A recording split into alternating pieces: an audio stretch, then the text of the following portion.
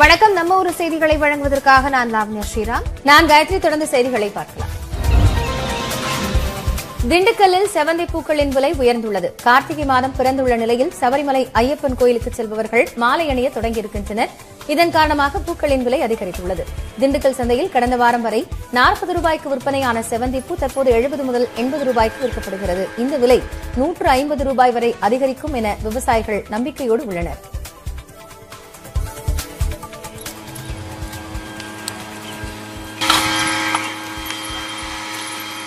நாற்பது முப்பது தான் போய்கிட்டு இருந்துச்சு முன்னாடி. இப்போ கார்த்திகை மாதம் ஐயப்பன் கோயில் பிற விசேஷம் வர்றதுனால கார்த்திகைலேருந்து ஒரு நூறு நூற்றம்பதுக்குள்ளே போகும்னு நான் நினச்சிக்கிட்டு இருக்கேன். அதனால் தகுந்தபடி நாங்கள் மருந்தடிச்சு கொண்டு வந்து சேர்த்து எழுபது எண்பது இப்போதைக்கு போய்கிட்டு இருக்கு. இன்னும் நூறு நூற்றம்பது இப்போ வரும் விற்கும் அப்படிங்கிற ஒரு நம்பிக்கையில் தான் இருந்துகிட்டு இருக்கோம்.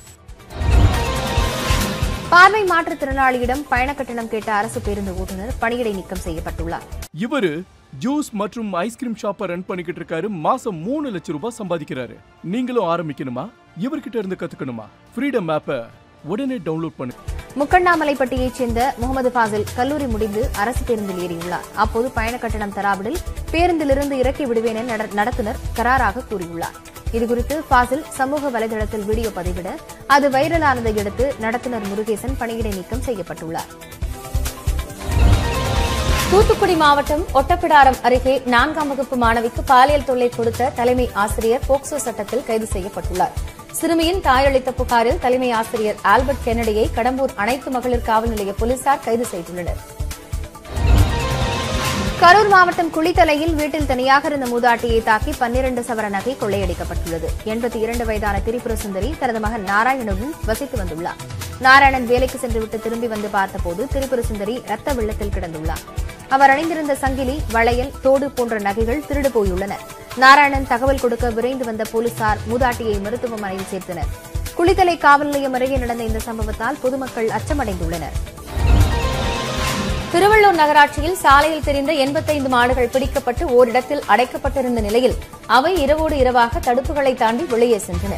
நகர்ப்பகுதியில் சாலைகளில் திரியும் மாடுகளால் விபத்துகள் நேரிட அவற்றை பிடித்து அபராதம் போட நகராட்சி முடிவு செய்தது.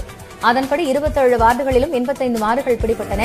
அவற்றை நகராட்சி அலுவலகத்திற்கு பின்புறம் சவுக்கு கட்டைகளால் தடுப்புகளை ஏற்படுத்தி அடைத்து வைத்திருந்தனர். இந்நிலையில் மாடுகள் அனைத்தும் இரவோடு இரவாக தடுப்புகளை தாண்டி சென்றன. மீண்டும் அவை மாவட்ட ஆட்சியர் அலுவலகம் காவல் கண்காணிப்பாளர் அலுவலகம் எதிரிலேயே சாலை ஓரம் படுத்து உறங்கின.